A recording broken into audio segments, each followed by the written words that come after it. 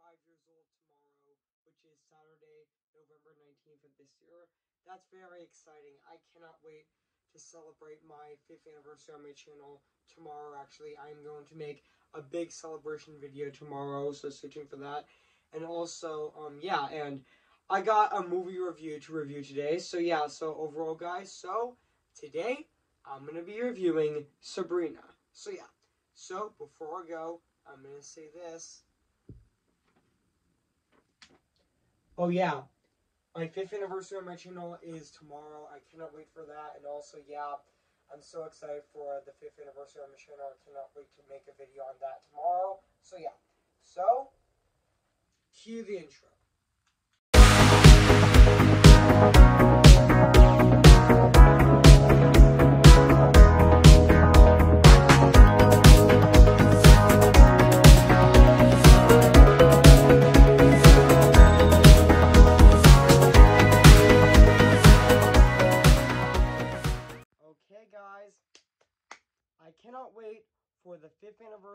My channel tomorrow, which I'm so excited for. So, yeah. So, now back onto the review. So, yeah. Hey, guys, this is Evans Disney's Movie Media Ton Twenty Two here. And today, guess what, guys? And today, I'm going to be reviewing Sabrina Came in the Year of 1954. So, yeah. So, I'm going to read this plot on the internet. So, yeah. So basically what the plot's about, Chauffeur's daughter, Sabrina, returns home from two years in Paris. A beautiful young woman is immediately catched, I mean, catches the attention of David, the the playboy is son of her, her father's rich employees. David woos, woos and wins Sabrina, uh, um, who has always been in love with him. However, their romance is threatened by David's serious older brother Linus, who ruins the family business and re relies on David to marry his marry Aunt uh, or her this, which sorry I mispronounced that. Correct me if I'm wrong if I pronounce it correctly. So yeah, in order for a critical marriage to take place. So yeah. So that's basically what the plot's about about this movie. So yeah, I did remember this movie actually did came out. I'm gonna look this up right now actually. So yeah.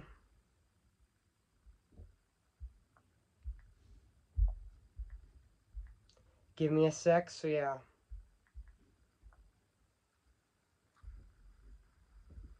Yes, I did remember this movie actually did came out back on um on September 23rd of um 1954 and at um New York and Los Angeles and it did had a Toronto premiere on September 3rd of um 1954 so yeah guys so what do I think of this movie I have to say this is definitely one of Audrey Hepburn's best movies. I mean, yeah, this movie is definitely phenomenal. I mean, yeah. I mean, um, I know it is, um, um, adapted from Welder's, um, Samuel A. Taylor and, which, sorry, I mispronounced that person's name, but that's okay, from Taylor's, um, 1953 play Sabrina Fair, which also, yeah, which also, I know this movie is also directed by, um, Billy Wilder, which yeah. And also um yeah.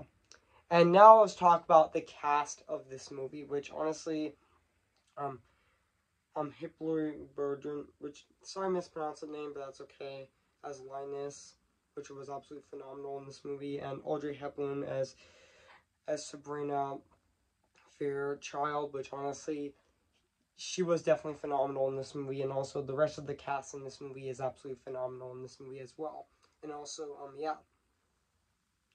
And even John Williams, I forgot to mention John Williams was actually in this movie. It's not the singer, actually, but yeah, which I know he died, um, on May 5th of 1983, so rest in peace that actor, so yeah.